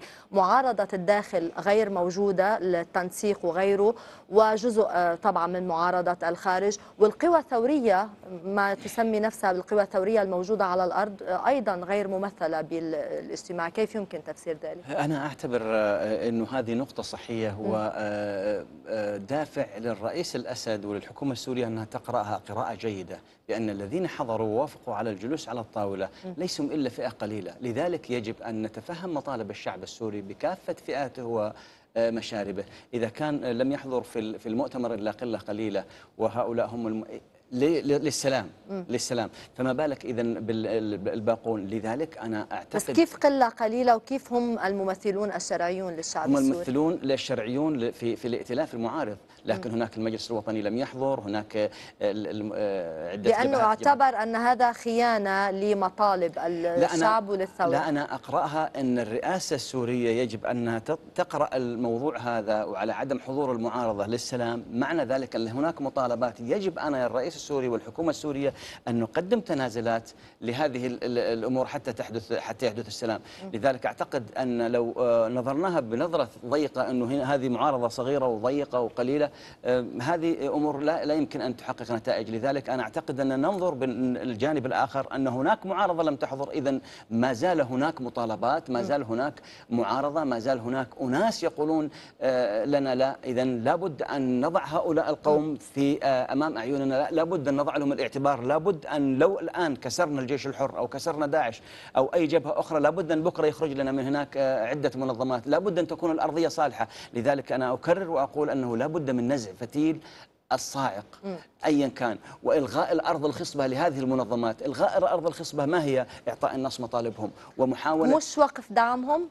وتسليحهم؟ أنا مين أدعم؟ مش مفروض هذا أول سبب لإلغاء هذه المنظمات أنا كيف أدعم ناس ما عندهم قضية؟ والله الرئيس الأسد استقبل. لا لا لا لا يعني من دون أن تدعم الرئيس السوري. في المقابل دعم هؤلاء يعني بالدعم والتسليح. ألا يزيد الأمر تعقيدا ألا يزيد من أنا الأزمة؟ أعت- أنا يعني مش هذا هو من أنا يوقف الإرهاب؟ أنا أنظر العكس. متى ما وجدت المعاناة وجدت الدول, الدول الأخرى المطية في آه، ذلك. حتى ولم يكن تعاطفا مثل الشعب السوري مع الشعب ال- الشعب السعودي مع الشعب السوري. متى ما وجد هناك آه، آه، أرض خصبة متى ما وجد هناك مظلومية وجدت الدول المطية الكاملة في الاتجاه إلى مثل ما حصل في العراق آه، أيام. صدام حسين آه، هذا أمر طبيعي. كل الفئات وصلت بغداد على ظهور الدبابات طيب ال- الأمريكية. ال- الدول الخليجية وعلى رأسها اليوم السعودية يعني واضح أنها رأس آه، حربة من خلال تصريحات المسؤولين. إلى أي مدى قادرة أصلا؟ وهذا السؤال طرح أكثر من مرة على ضبط أو أن تمون آه، على كل يعني على عشرات آلاف المسلحين في سوريا. إذا كنتم تعتبرون أن إيران لها قوات لها رأس بالنهاية. نعم. العراق له قوات. معروف من رأسه. هكذا يقول تقول المعارضة. طيب من رأس كل هذه ال- يعني الجماعات المسلحة التي تقاتل بسوريا؟ أعتقد قضية السعودية مع سوريا قضية تختلف كليا. مم. قضية كبيرة ويطول بنا الحديث عنها. مم. قضية جراح عميقة جدا جدا بين الأخوة السعوديين والسوريين. هناك آه، آه، شبه آه، نكران هناك شبه تجرد هناك ما هو شبه لا بل, بل أكيد. هناك خروج عن الإجماع العربي هناك ضياع للسنين الطويلة التي بنتها السعودية مع سوريا ومع الرئيس الأسد الأب. هناك جراح عميقة السوريون يقولون لدينا جراح بل لدينا جراح إحنا في السعودية. أين ذهبت كل هذه الأمور ال- من عام 70 حتى آه، آه، 2009 كان لافت أن يعني تخرج تخرج سوريا من الجامعة العربية بعد كل هذا الذي. تاريخ سوريا المعروف يعني بين أنا الدول أنا العربية أعتقد الموضوع اسمح لي أن أذهب. إلى الموضوع طهران استراتيجي أكثر من أي شيء آخر نعم. يعني هو قابل المطالب الشعبية والمظلومية الشعبية مم. قابلها من ضمن من من في المقابل السعودي والخليجي آه، آه، خلل استراتيجي في المنطقة. آه، اسمح لي أن أذهب من جديد إلى طهران أتمنى أن تسمعني الآن سيد أمير كنت سألتك يعني توقفنا عند استئناف مطار حلب لرحلاته قبل قليل وسألتك عن رمزية هذه الخطوة بالتزامن تماما مع ما يجري في مونترو في جنيف يعني هل تقرأ بها فيها نعم، إيران آه، مؤشر ما؟ لا هو يأتي في في إطار سيطرة الجيش العربي السوري على المواقع الحساسة في في سوريا ولاحظنا هناك تدهور واضح في التكفيرين في صفوف التكفيرين والإرهابيين والجماعات المسلحة. آه، هم الآن يحاصروا في مناطق محددة وأعتقد أن ربما يعني الأشهر الأسابيع الأشهر القادمة ربما آه، آه، تفرز يعني حقائق أخرى على الأرض. وأعتقد هذا دعم للمفاوض والوفد السوري في مؤتمر جنيف وفي كل التحركات آه، التفاوضية نعم. لكن أريد أن أشير إلى نقطتين مهمتين أنا أعتقد ما دار في الحديث آه، ضيف العماني آه، ضيف الأردني العفو وضيفك في الاستوديو نعم. آه، أعتقد أن موضوع الإسلاميين عندما ذكرناها عندما نقول الإسلاميين ليس التكفيرين التكفيريون والإرهابيون ليس لهم دين ولا مذهب هؤلاء لا يصنفوا على الإسلام للأسف الشديد وسائل الإعلام بعضها العربية والغربية تطبل بأن هؤلاء إسلاميين وجهاديين هذا تشويه للدين الإسلامي وللجهاد المقدس آه، ضد الأهداف المقدسة آه، ضد يعني في إطار الأهداف المقدسة وفي إطار ال- الحقائق المقدسة. لذا أنا أعتقد تسمية هؤلاء التكفيريين وهؤلاء الإرهابيين بأنهم إسلاميين هذا نوع من الظلم للإسلام للدين الإسلامي الحنيف وللمسلمين وللإسلاميين الحقيقيين. فعندما نقول أن الشعب السوري يريد خيار إسلامي أو غير إسلامي منظوري أن الإسلام الحقيقي والإسلام الصحيح وليس الإسل- الإسلام الذي يدعي به هؤلاء التكفيريين. هؤلاء أصلا ليس لي- لديهم لا مذهب ولا أي شيء. النقطة الثانية يعني ضيفك كرر عبارة أن السعوديين لديهم آه، علاقات خاصة مع الشعب ال- السوري وأن أنهم متعاطفون. أنا لا أعتقد ذلك ليست هناك علاقات ودية أبدا بين السعودية وسوريا. صحيح هناك تزاور في فصول السياحة كانت موجودة بين السعوديين وإلى سوريا إلى لبنان. هذه يعني ظروف سياحية محددة لكن لا ننسى أن السعودية ضغطت على الرئيسين حافظ الأسد وبشار الأسد. بأنهم يبتعدوا عن إيران وضغطت بامتياز أيام الحرب العراقية على إيران وفي موضوع آه، بس هذا لا دعم دخل سوريا له بعلاقة ولي- الشعبين. يعني هذه المواقف السياسية لا، لا، والضغوط إذا كانت مورست أنا على أريد إيران أقول- لا, لا دخل لا، على لا. سوريا لا دخل لها بعلاقة الشعب السعودي بالسوري. لا لا أنا أري- أريد أقول أنه لي- ليس هناك شيء مشترك. يعني لماذا هذه الإحساسات غير موجودة بالنسبة للشعب الفلسطيني؟ ليست هناك يعني هذا أي ما يشعر به الشباب الرجل السعودي. سيد أمير. هذا آه، يعني يقوله أهل مكة وهم أدرى أدرى بشعابها نعم سوريا والسعودية طيب. أدرى ببعضهم من أكثر أليس من الشعب إيران. الفلسطيني أليس الشعب الفلسطيني أليس الشعب الفلسطيني عربي ومسلم. ويحتاج إلى تعاطف الآن وساعدت ساعدت السعودية. في الواقع الشعب وي- الفلسطيني كثيرا يعني لا، من لا، خلال بالعكس. صناديق الدعم وال- على أي وكل ما قدمته سابقا لم يصل لم يصل شيء إيه إيه، باعتراف المسؤولين.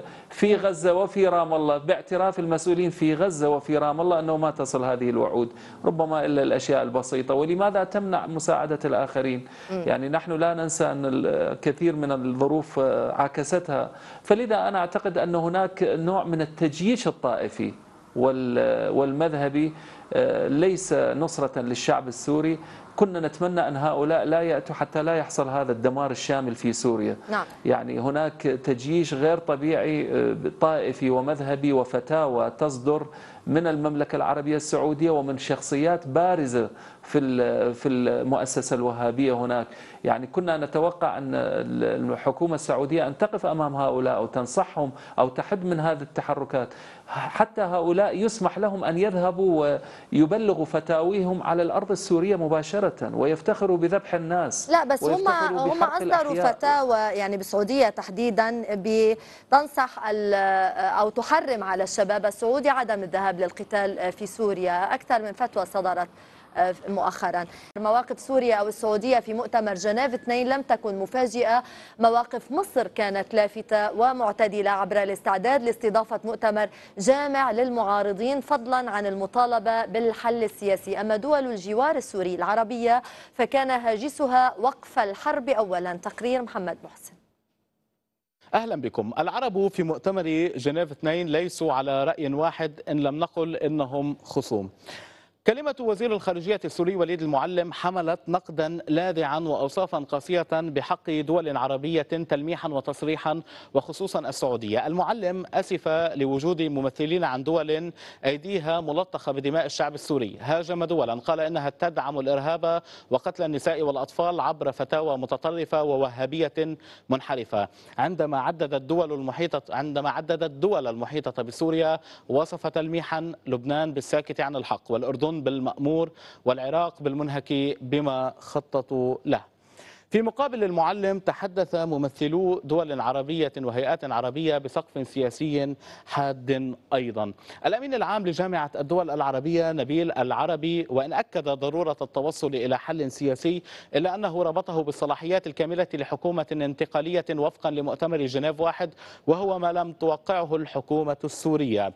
وما لم يقله العربي صراحة قاله وزير الخارجية السعودي سعود الفيصل من البديهي أن لا يكون للرئيس السوري بشار الأسد أو من تلطخت أيديهم بدماء السوريين بحسب وصفه أي دور في الحكومة الانتقالية. وزير الخارجية القطري كان أقل حدة ورأى أن لا سبب يمكن تقديمه لتبرير تقصير المجتمع الدولي عن مساندة الشعب السوري. على خط آخر كان الحل السياسي ومكافحة الإرهاب ومعالجة المشاكل مشاكل النازحين السوريين أبرز النقاط في كلمات كل من مصر ولبنان والعراق والأردن والجزائر والمغرب بدلا من التركيز على مصير الرئيس السوري. كان كلام وزير الخارجية المصري نبيل فهمي واضحا حذر من تسوية تحمل في طياتها تقسيم سوريا وطالب بتسوية تحفظ وحدة الشعب واستقلالية البلاد.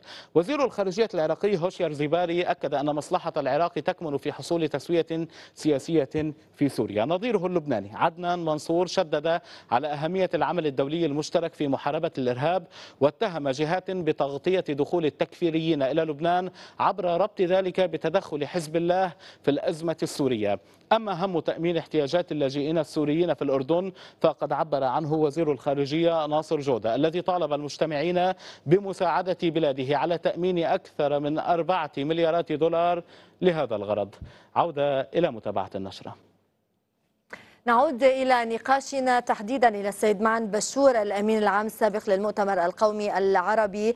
ربما بعض المواقف آه، يعني توقعها آه، كثيرون. ما كان مميزا نوعا ما أو لافتا موقف آه، مصر التي أعلنت على لسان وزير خارجيتها أنها مستعدة آه، عندها استعداد لاستضافة المعارضة آه، على أراضيها في مرحلة لاحقة كيف يمكن آه، أن يقرأ سيد معن هذا الموقف المصري؟ يعني أعتقد أنه في الأشهر الأخ- الأخيرة خصوصا بعد التغيير الذي حصل في مصر بات واضحا أن مصر تدرك وتعبر عن إدراكها هذا آه، بأن الأمن القومي المصري مرتبط إلى حد كبير بالأمن القومي في سوريا. وبالتالي حين يتحدث وزير خارجية مصر عن رفض بلاده لأي ما أي أمر يفضي إلى تقسيم سوريا فهو يتحدث عن خطر استراتيجي يهدد سوريا ويهدد المنطقة كلها من خلال سوريا. والمصريون يدركون عبر التاريخ أن هذه الصلة بين مصر وسوريا هي شرط أساسي لنهوض الأمة ولقدرة الأمة على الدفاع عن مصالحها وعن أمنها القومي. لذلك الموقف المصري هذا هو الموقف الطبيعي وأنا كنت أتمنى أن يكون أمين عام جامعة الدول العربية. أكثر تعبيرا عن موقف هذه الدول التي استمعنا إلى مواقفها وأن لا يبقى أسير مواقف مر بها ومرت بها جامعة الدول العربية حيث غطت أكثر من عدوان على أكثر من بلد عربي بدءا من العدوان على العراق إلى العدوان إلى- على ليبيا إلى التحريض على العدوان على سوريا. كنت أتمنى أن يكون هذا المؤتمر فرصة أمام أمين عام جامعة الدول العربية لكي يكون موقفه موقفه أكثر توازنا مما صدر منه وأكثر حيادية. الموقف المصري أساسي. أساسي أولا في أن يجمع المعارضين كما قال الوزير لكي لا ينفرد طرف بتمثيل المعارضة وخصوصا أن القوى التي استبعدت وهي القوى التي آه، آه، صمدت في الداخل السوري ودخل أعضاؤها السجون لسنوات طويلة. هذه القوى من هيئة التنسيق إلى تيار بناء الدولة إلى الجبهة الشعبية للإرادة والتغيير إلى شخصيات سورية عرفت بنزاهتها واستقامتها وصدقها وصلابتها. طيب. يعني ثلاثة وهذا المهم. أنا أعتقد أن مصر مدعوة رغم انشغالها باستحقاقات داخلية. مدعوة إلى أن تسعى إلى تنقية العلاقات العربية. هنا أريد أن أذكر بأن المراحل التي شهدت شيئا من النهوض العربي ومن التماسك العربي. بعد ثورة 52 إلى الوحدة المصرية السورية ب 58 كانت تقوم على تفاهم بين مصر وسوريا والمملكة العربية السعودية. كذلك الأمر بعد حرب السبعة وستين وصولا إلى حرب تشرين حيث كان لموقف الراحل الملك فيصل نعم. دور مهم في حرب النفط.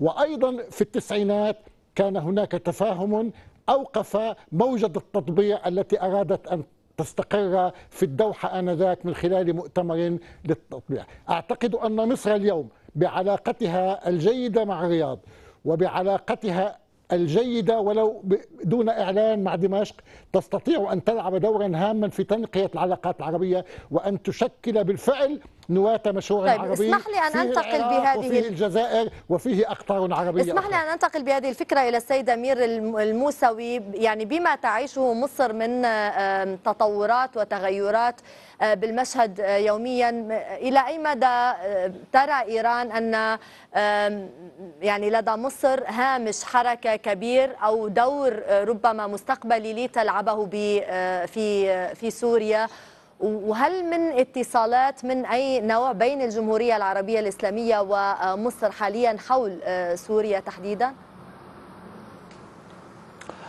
أنا أعتقد هذا ما أعلنه اليوم الجانب المصري كان مهما جدا وأعتقد كما تفضل السيد معا حقيقة نقطة مهمة. لكن كنا نود أن آه، تضيف إضافة تاريخية كذلك لصالح الشعب السوري بأن تجمع المعارضة في المرحلة الأولى وتجمعهم مع الحكومة السورية في القاهرة وأعتقد هو الموقع, الموقع الأساس والأهم في حل الأزمة السياسية في آه، الأزمة الأمنية والقتالية في سوريا.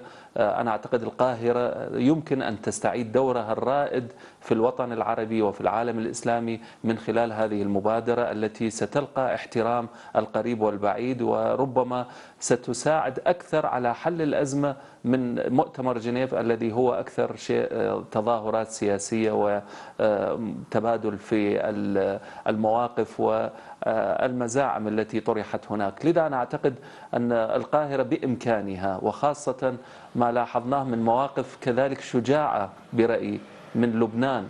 لبنان هذا البلد الصغير القوي بشعبه وبإرادته وبمقاومته. رأينا وزير الخارجية اليوم قال كلاما شجاعا كذلك وكذلك العراق كان شجاعا له هو. يناسب إيران ربما. نعم هو إيجابي بالنسبة لإيران أنه من يقول أنه سبب الأزمة هو وجود حزب الله في آه، سوريا. هذا يبرر للإرهابيين أو يبرر للجماعات الإرهابية أعمالها. يعني هذا يناسب أعتقد هذا إيران في كلام نهاية شجاع المطاف. لا بالنتيجة أنه آه، يعني هو خاطب ربما ال- الوضع الداخلي هناك. يعني يبررون العمليات الإرهابية بوجود حزب الله في في سوريا. فلذا أنا أعتقد هذا نوع من التبرير للأعمال الإرهابية التي يعاني منها الشعب اللبناني. كما لاحظنا اليوم كيري يبرر الأعمال الإرهابية في سوريا بسبب آه، مثلا آه، بعض سياسات الحكومة السورية أو بعض حلف وجود الحلفاء هناك. فلذا أنا أعتقد هذا تبرير للإرهاب. وهذا يمكن أن يبرر في كل مكان. لكن هذا هذا الكلام غير منطقي. والمهم في هذه المواقف العربية برأي سلطنة عمان التي اتخذت موقف عدم المشاركة لأنها قرأت ما بين السطور. أنا أعتقد هذا الموقف كذلك يمكن أن يسجل آه، للحكومة ال- حكومة سلطنة عمان وإلى سلطان عمان ووزير خارجيته عندما آه، أبوا الذهاب إلى مثل هذا المؤتمر الذي واضح معالمه فلذا أنا أعتقد أن مصر مع هذه الأصوات العربية الأخرى وكذلك الجزائر باعتبارها باعت- باعتقادي كانت لها مواقف مهمة جدا وشجاعة كذلك في المؤتمر مم. وأصوات ربما لم تظهر كالسودان والمغرب أيضا كان له. موقف اعتبره كثيرون إيجابي. آه، طيب سؤال أخير لك. قبل أن نتابع ال- النقاش بمسألة ال- يعني المواقف العربية ال- اليوم الوزير الخارجية السوري يدعو إلى والكل يدعو إلى ضرورة إخراج المقاتلين من سوريا. آه، إذا تم إذا ما تم الاتفاق على ذلك في مؤتمر جنيف هل برأيك آم، إيران أو حزب الله سيوافق على أن يخرج من سوريا؟ إذا تم الاتفاق على إخراج كل المقاتلين من سوريا. إيران لم يكن لها حضورا عسكريا أبدا والجميع يعرف ذلك. إيران دعمت ال- الشرعية في يعني ممثل بحزب الله. حزب الله حزب مستقل وعربي وجار والبعض قال الحرس الثوري في, في سوريا مشتركة. يقاتل. لا بالعكس ما في ولا حرس ثوري في سوريا وهذا كل كل الدلائل آه، نفت هذا الأمر والمعارضة كذلك تعرف هذا الأمر صحيحا. هم اختطفوا زائرين 47 زائر ولاحظتوا كيف عملوا ضجة إعلامية وتنازلوا بعد ذلك. لكن أنا أعتقد أن حزب الله إذا ما زالت الأسباب هو سيقرر أنه هل يعني سيراجع موقفه 100% لأنه في الحقيقة إسرائيل أتت إلى سوريا تحارب حزب الله. بمصالحه الاستراتيجية. الكيان الصهيوني الآن هو المحارب الأساسي في سوريا ضد حزب الله. و- وحزب الله لا ليست لديه أي مشكلة أي مشكلة ليست لديه مع الشعب السوري. حزب الله يساعد الشعب السوري ويقف إلى جانبه ولكن للأسف الشديد هؤلاء الوافدين هؤلاء التكفيريين الذين أتوا بفتاوى محددة نحن لم نرى من هؤلاء التكفيريين أي أي جهود أو أي برنامج نعم. لمواجهة الكيان الصهيوني ولمساعدة الشعب الفلسطيني لكنهم يتجهون من كل أنحاء العالم للحرب الطائفية لتزويد لإثارة النار الطائفية في في سوريا وفي المنطقة. يحاربون في العراق يحار- يحاربون في ليبيا يحاربون في الصومال يحاربون في كل مكان باستثناء الكيان الصهيوني وأعتقد هذا يدل على آه، المصالح الصهيونية في هذا في هذا الأمر. فلذا أنا أعتقد أن حزب الله لديه الاستقلالية في اتخاذ القرار إذا ما ما يعني ما اقتضي الأمر. طيب أثرت آه، نقطة آه، ربما آه، يعني أختم بها مع السيد معن بشور بالفعل عدم مشاركة سلطنة عمان في هذا المؤتمر. اولا إلى أي يعني ما أهمية الموضوع وبالنسبه لسلطنة عمان وحجمها؟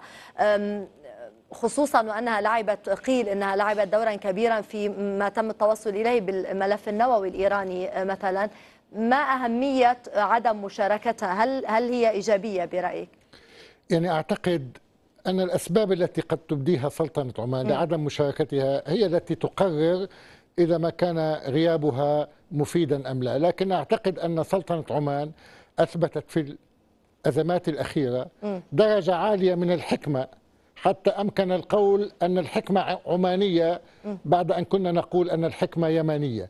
وأنا أعتقد أن عمان تريد أن تحمي مصالح دول الخليج والجزيرة مجتمعة لأنها تدرك أن التسعير والتصعيد الذي يعتمده البعض ضد إيران ليس في مصلحة إيران ليس في مصلحة هذه الدول ولا في مصلحة على الإقليم بأسره؟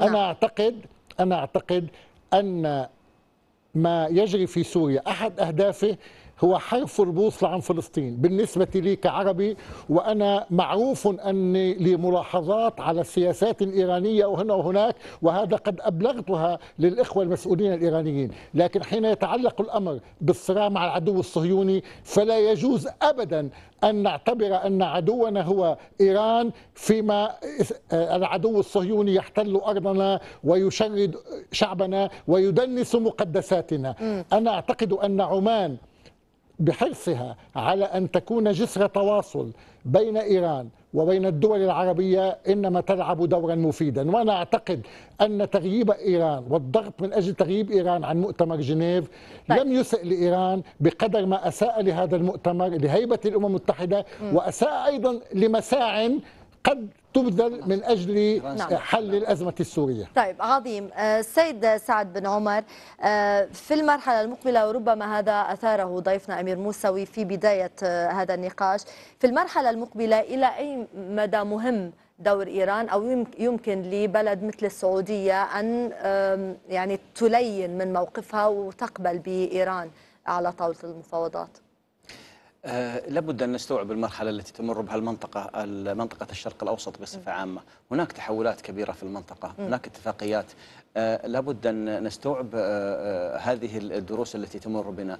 إيران لديها آه، مشاكل طوال العشر سنوات الماضية آه، لديها تأخر في التنمية لديها آه، لا هذا هذا وضع داخلي. بس نعم، لماذا ن- كان هذا القلق السعودي والرفض السعودي نعم. لمشاركة آه، إيران؟ إيران- إيران لن تستمر مهما طال المدى لن تستمر على طول الخط بدعم السوريين وأعتقد أنها سترسل الرسالة هذه إذا ما قد ارسلتها لن تستمر على طول الخط بدعم السوريين من مال الشعب ال- الإيراني ومن قوته. يجب ي- يكون هناك رسائل حسب اعتقادي هناك رسائل للسوريين أنكم يجب أن تقفوا مع مع الشعب السوري في آه، بحث الحلول لأنه ايران إلى متى تستطيع أن ت- تدعم ال- ال- الدولة السورية والجيش السوري والمقاتلين. هناك يوميا آه، مليارات الدولارات تصرف من الجيش من خزينة الدولة السورية مم. واعتقد أن لولا إيران وروسيا خزينة الدولة الإيرانية ما كما نقول خزينة مكة الدولة أدرى السورية، بشعابها خزينة. طهران أدرى لا بشعابها لا خزينة أيضا الدولة السورية أنا. أقول لك خزينة الدولة آه. السورية لذلك إيران لن تستمر على طول الخط في دعم النظام السوري إلى ما لا نهاية يجب أن يتوقف آه، آه، كل أمر يتوقف إلى حدة يعني في في مرت بنا كثير من التجارب في الدول آه، الولايات المتحدة جلست فترة طويلة وانسحبت من فيتنام جلست طيب، فترة طويلة هل وانسحبت يمكن أن تنسحب السعودية إذا ما دخلت إيران أو إذا ما استدعيت إيران إلى المؤتمر هل يمكن- أن تستمر السعودية باعتراضها على ذلك؟ اولا حضور إيران للمؤتمر هو في حسب اعتقادي آه، لأنه كل الدول دعيت من البرازيل إلى آه، ما هذا الغريب آه، يعني إلى- كل إلى- إلى الدول. دعيت باستثناء هذا إيران. هذا لا يضير إيران. هذا قد نست- قد آه، نفسره ايرانيا إذا كنا ايرانيين نفسره على أن إيران يجب أن تهتم بأمورها الداخلية أكثر مما تهتم بالأمور الخارجية. ولكن أنا أقول إنه دعويه إيران والدول الأخرى آه، نوع من ال- ال- ال- الدعوة البروتوكولية. آه، إيران الآن لا ليس لها عد أي أهمية في الحضور لأنه من غد آه، سيكون ال- ال- الحوار سوري سوري. آه، جميع الدول. طب لماذا تحضر السعودية ولا تحضر إيران؟ أيضا يعني هذا سؤال أعتقد. أن- أو لماذا تحضر تحضر كل دول الطوق ولا تحضر إيران؟